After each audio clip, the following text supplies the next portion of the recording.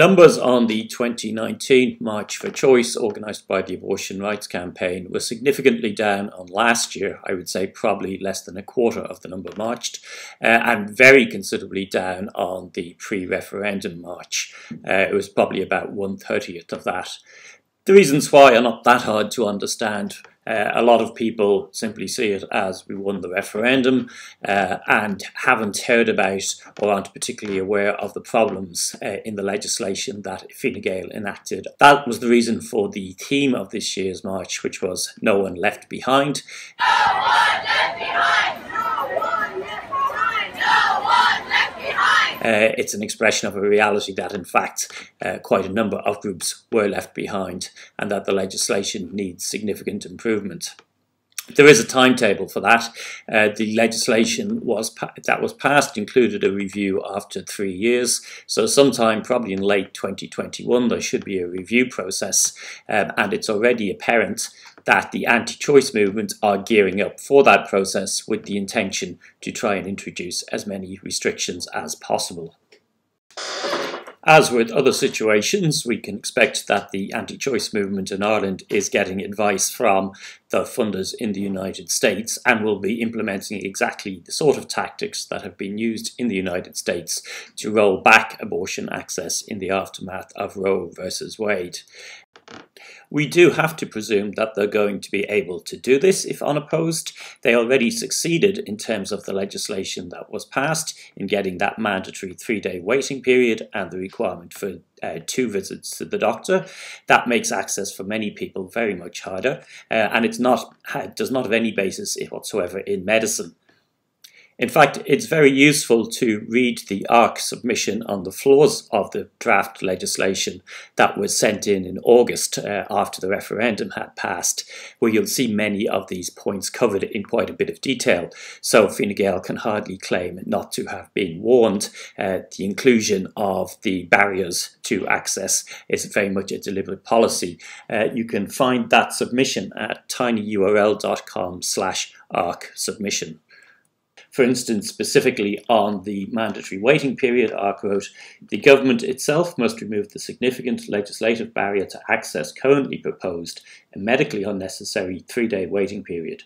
Barriers to abortion access will only serve to undermine the law and endanger the welfare of abortion seekers. They will force some in Ireland to travel abroad for care as if the eighth had never been repealed, or to order pills online instead of receiving a doctor's care uh, with uh, ARC strongly urging the government to harmonise the proposed legislation with the Gender Recognition Act 2015 by making it explicitly inclusive of transgender and non-binary people who can and do become pregnant and avail of abortion. This can be done by using the words person or person who is pregnant rather than woman throughout the legislation, or at a minimum defining woman to encompass anyone of any age who can become pregnant.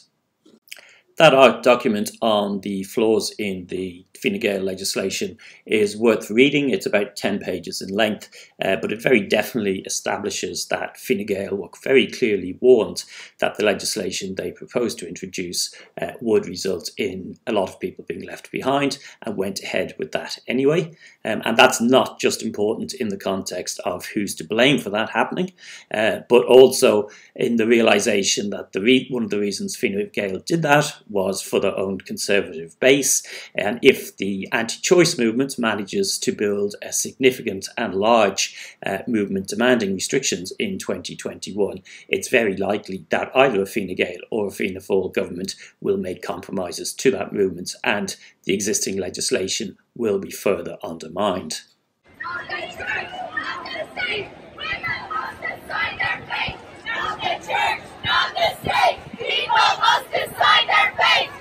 The other impact the flaws in the legislation have had is to cause a certain amount of demoralisation and indeed even division within the pro-choice movement.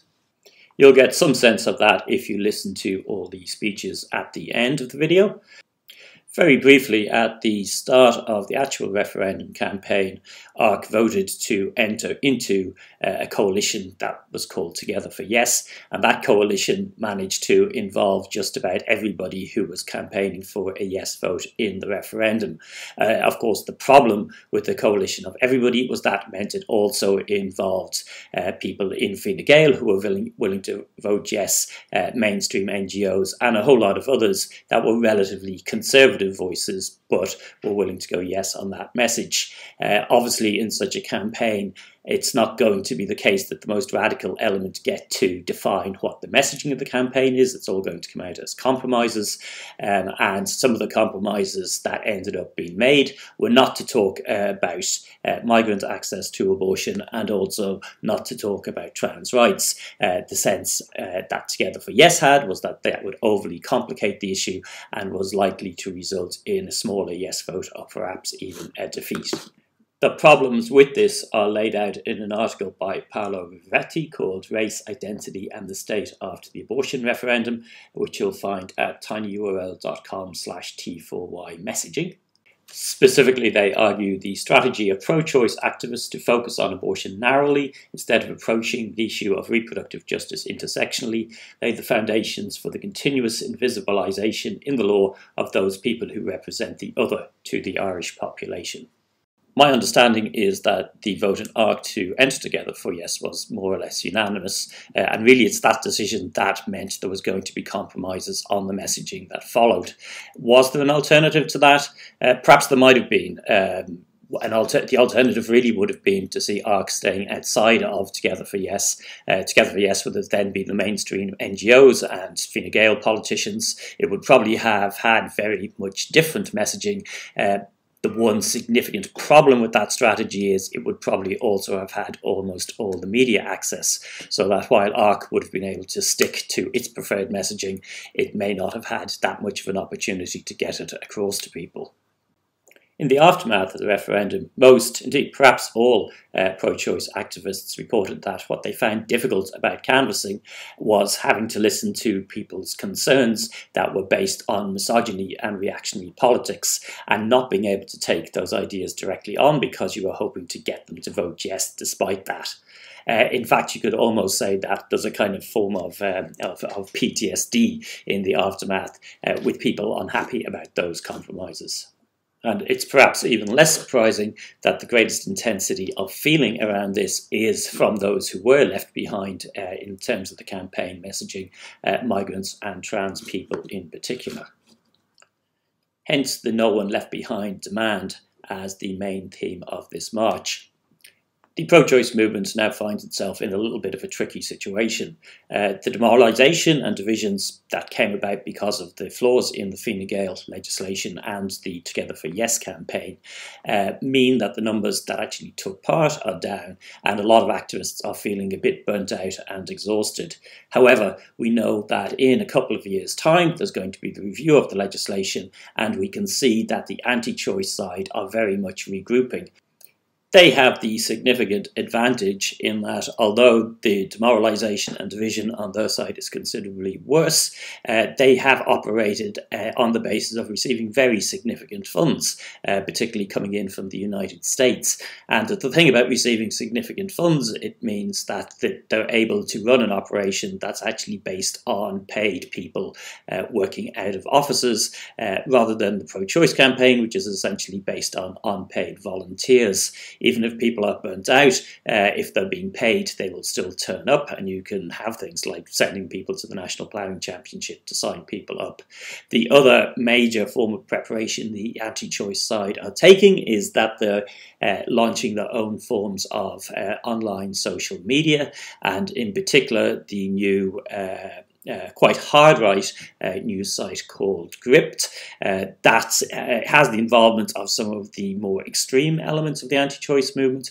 But the other disturbing thing it's doing is it's very much pivoting uh, towards the wave of racism focused around the building of new direct provision centres in places like Oughterard, Moville and Rooskey that the very small Irish far right has managed to successfully manipulate and to start to grow a movement out of.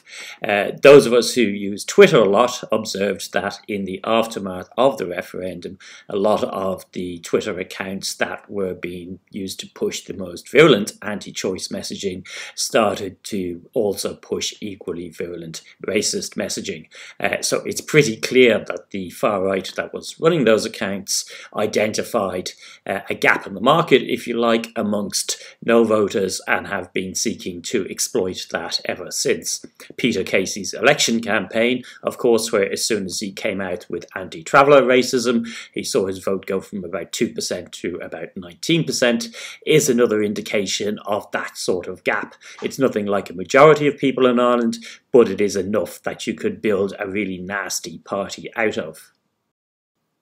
All of which is to say that it's a pretty high stakes situation, even beyond the immediate issue of abortion legislation. You have a far right movement that's hoping to grow out of the mobilisations that will take place uh, to demand restrictive uh, legislation in the review in a couple of years' time. And of course, you have that anti choice movement itself that has a model based on what's happening in the United States that is already well funded, uh, is reorganising itself, has already launched own media platform, and I think we can definitely expect to see go on the offensive in the next few months as a build up to trying to bring in additional restrictions. On the other hand, for us, the legislation is nothing like good enough. It's left too many people behind, but we find ourselves with a comparatively weak movement that is only mobilising one thirtieth of the people that it was mobilising two years ago. So the big challenge is how to rebuild that movement and how to rebuild it in the context where there is genuine, uh, deeply felt division and conflict.